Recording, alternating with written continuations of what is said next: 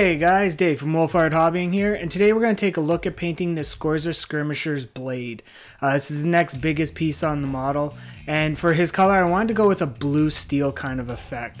So how I get this effect is I'm going to come in with a 2 to 1 mixture of Runefang steel to one Vallejo model color gunmetal blue.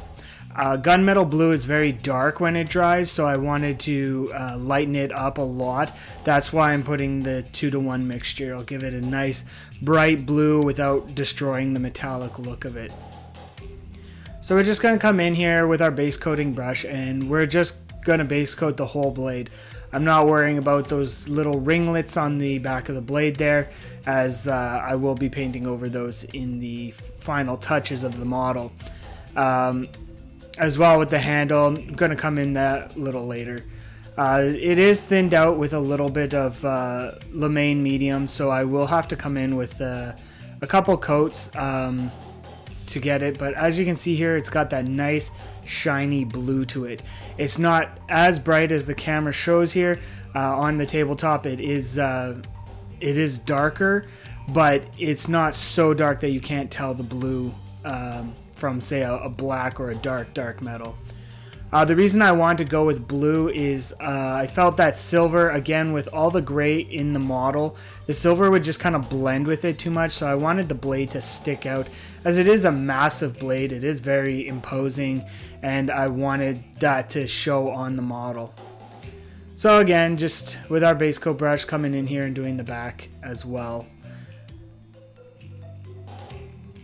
Being very mindful of the gauntlet as I don't want to do uh, any cleanup work on that as it is completed. I'll be getting the little handle uh, pieces that attach the sword later on in in the painting process as well. So I'm just cleaning up uh, my brush strokes here as they did get a little sloppy and because I want a smooth finish, got to make sure you're mindful of your brush strokes. So just coming in close to the leg here. Um, you gotta be careful here again because that blue will show up if you do happen to slop over onto the leg. So just be very careful when you are painting close to the model if you don't want to do any cleanup work later on. So the blue's kind of really starting to show now. Uh, again, it will take me multiple coats to get a good finish on it.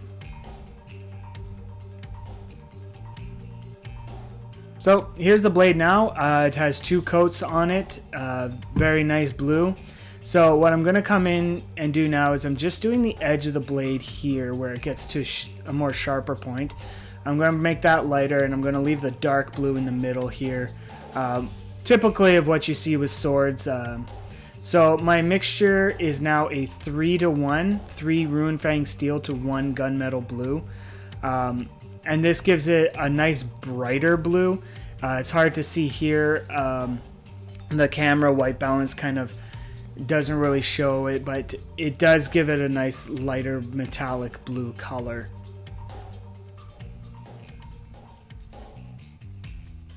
and just getting the back blade here. As you can see here, I've gone and done the, the rest of the blade. Uh, you can see the difference now, how it's more of a, of a silvery blue than just a straight metallic blue. So getting just the back parts of the blade here uh, gives it a lot more depth. You could take this a little higher if you wanted to. Um, but again, tabletop standard in my case, I'm not going crazy with my highlights here. Uh, just want to give a little bit more depth and definition to the blade. So my next highlight and my last highlight's just going to be the front part here and probably just the edges.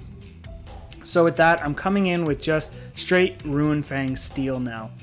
Um, as again, I'm just going to be doing the edges and a little bit in the middle, just uh, where I feel the light would catch.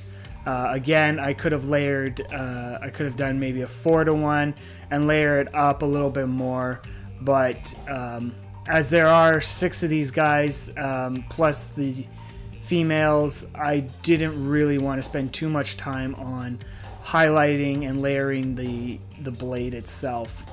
So as you can see here, just catching the edges uh, and in that middle part between the two notches of the sword and a little bit higher, uh, where the bend in the sword kind of comes, I'm going to catch uh, more of the edges uh, just to give it, again, more depth definition on the tabletop so that it stands out more.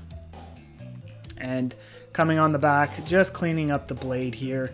Uh, as with doing the just the edge kind of slopped over on the other side so clean it up make it look nice with a nice transition uh, what you could do too to blend all the colors a little later on is go in with a blue ink wash uh, to kind of just tie in all the blues together um, but I kind of liked how it looks here so that's pretty much it for the blade um, I liked how it turned out uh, so if you like the video, comment, subscribe, uh, follow me on Facebook as I will be posting uh, when new videos go up and some pictures of my work in progress. Uh, and again, guys, thanks for watching and have yourselves a great day.